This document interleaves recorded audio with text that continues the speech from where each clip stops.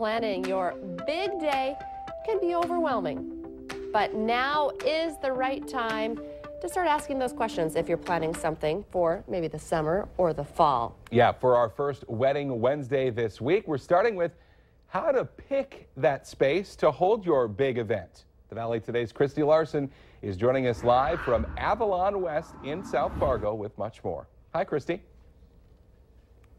Good morning, guys. Yeah, it can be difficult to know even where to start. So that's why I came here to the Avalon Events Center and I'm with Joe Phelps. And, you know, we've been chatting a little bit. The number one thing that we've been talking about that people need to know what is that? Uh, that'd be the size of your wedding party especially with Avalon since we have so many gorgeous ballrooms. and I know we're standing inside of the Dakota Ballroom yep. right now, and so people are probably taking a little look around, taking yep. a little look behind us. How many people can fit in this venue? Uh, you can fit comfortably around, uh, I mean, probably pushing around 200 in here. Mm -hmm. But I would, I would say like 100, 125, but 200 would be really pushing it.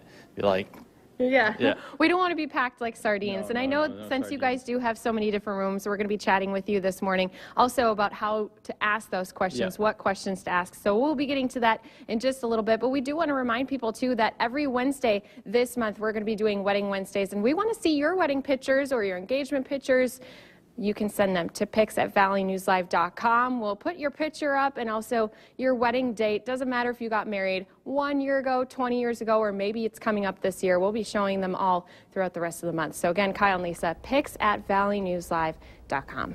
I'll have to dig out some of my old uh, pictures. They're not on digital files to take pictures of my pictures. Christy Larson reporting live for us this morning. Thank you, Christy.